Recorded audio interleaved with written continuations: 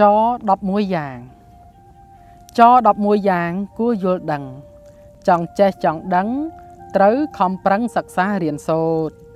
ចង់មានចង់បាន ត្រូវខិតខំប្រឹងប្រែងរកទ្រព្យប្រកបដោយសុចរិតចង់បានសុខក្សេមក្សាន្តកុំភ្លេចធ្វើបុណ្យពីព្រោះថាអំពើល្អទាំងឡាយ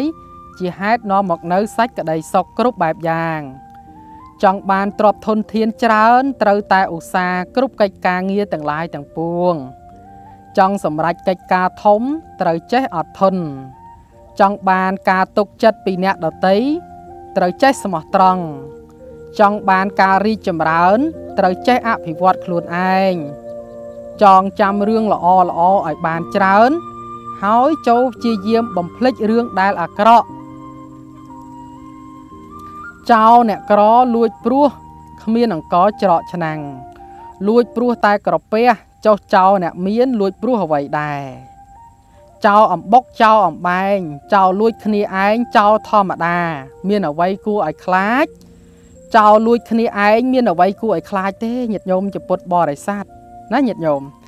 ចោលដែលគួរឲ្យខ្លាចបំផុតនោះគឺចោលលួចជាតិចោលដែលគួរឲ្យខ្លាចបំផុតនោះគឺ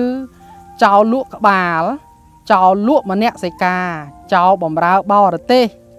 ចោលមានឈ្មោះថាជាខ្មែរតែខួរក្បាលជាយួន នោះទៅជាចោលដែលគួរឲ្យខ្លាចយ៉ាងពិតប្រកប